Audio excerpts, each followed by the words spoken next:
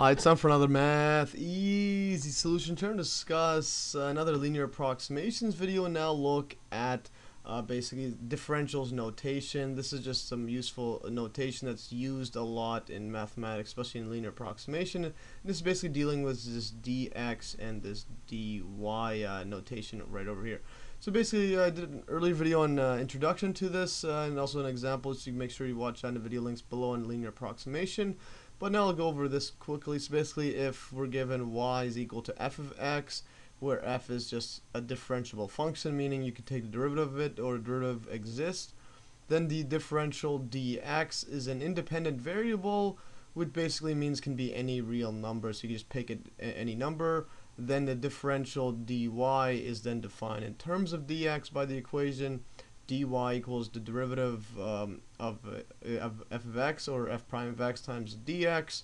And basically dy is a dependent variable because it depends on in this case x and dx.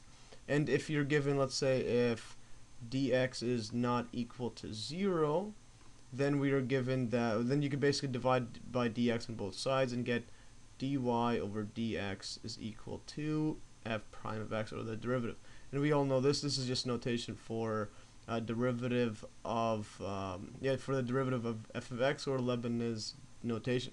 So anyways, um, the geometric meaning of this.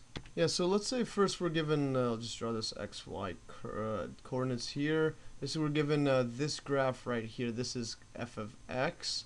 And let's say this is just a tangent line. Yeah, so this is just a tangent line to f of x at this point right here. And we'll call this point, let's say x right here. And let's say you were to move from here all the way up to this point right over here, which is x plus delta x.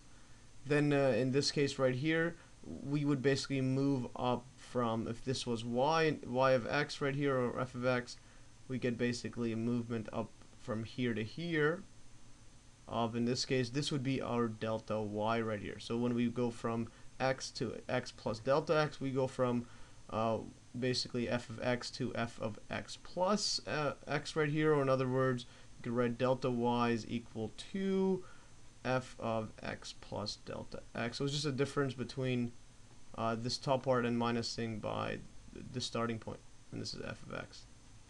So that's this point right here, but uh, but since basically this derivative right here, f of x, this is actually just the slope of this tangent line.